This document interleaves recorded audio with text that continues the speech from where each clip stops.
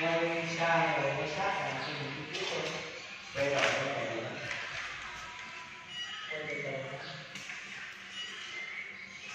từ từ đi tới giờ sâu rồi nó sao mà đi sát này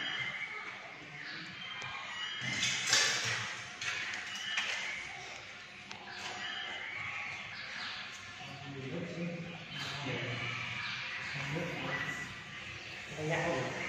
rồi nhắc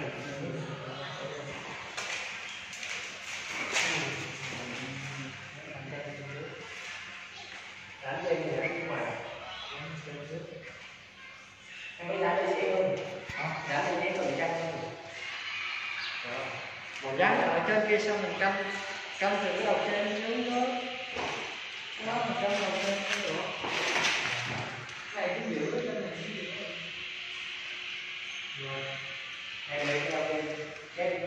cái đầu này đã được chỉ nhớ lấy cái gài thôi đi tới sát sát luôn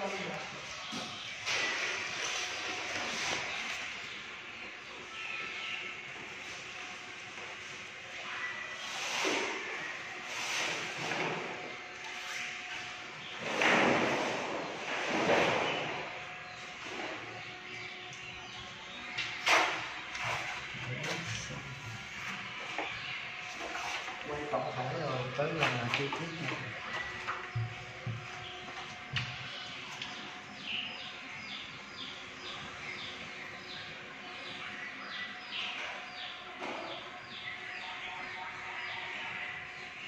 you.